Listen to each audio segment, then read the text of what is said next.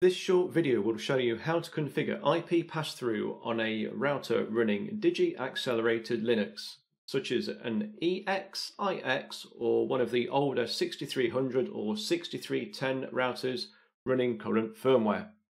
IP pass-through is a common requirement where the Digi router needs to be transparent to the connected LAN device, such as a camera, network video recorder, a PLC, or even another router.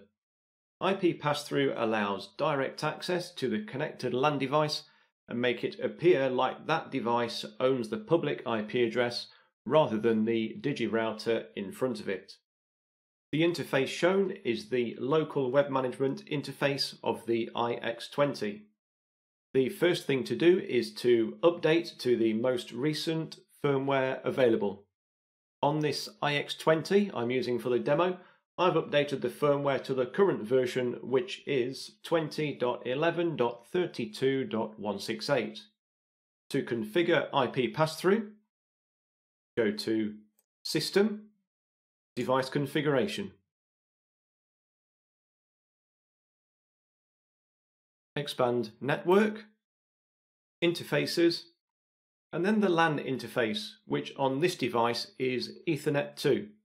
But if you're unsure which is the LAN Ethernet interface and which is the WAN Ethernet interface, just expand ETH1 and ETH2. Have a look at the firewall zone, and on ETH1 here you can see that the zone is set to external.